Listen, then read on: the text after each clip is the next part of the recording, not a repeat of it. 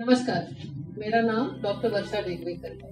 मैं गायनिकोलॉजिस्ट हूँ और पिछले 30 साल से इस क्षेत्र में कार्यरत हूँ। गर्भावस्था के पहले छह हफ्तों के टेस्ट के बारे में आज हम जानकारी देंगे। गर्भावस्था के जो पहले छह हफ़्ते हैं, ये शुरू, गर्भ की एकदम शुरुआती विकास की सीढ़ी है।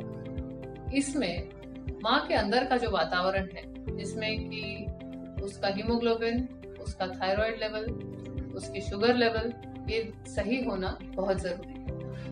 हीमोग्लोबिन अगर कम है तो माँ को तो थकान होगी ही, लेकिन बच्चे को ऑक्सीजन कम मिलेगा।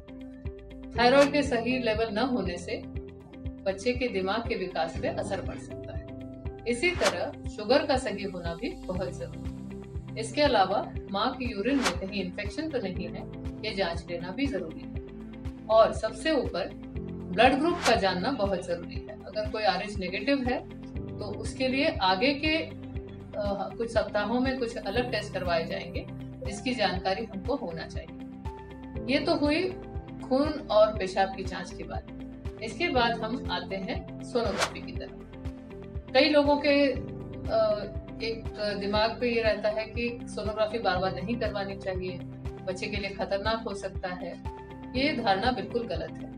आज करीबन 60 साल से हम लोग सोनोग्राफी कर रहे हैं। और अगर कुछ इसका खराब परिणाम दिखाई देना देना होता तो इन सालों में हमारे सामने ज़रूर आ जाता। अर्ली प्रेगनेंसी की सोनोग्राफी ज़्यादा करके छह हफ्तों में हमको करवानी चाहिए। क्यों? क्योंकि इस समय तक बच्चे की धड़कन हमको दिखाई देने लग जाती है। भ्रूण बच्चेदानी में सुरक्षित है कि नहीं? भ्रूण एक है या दो? भ्रूण कहीं नली में तो नहीं है और भ्रूण में धड़कन दिखाई दे रही कि नहीं, ये सारी जानकारी हमको छह हफ़्ते की सोनोग्राफी में मिल जाती है।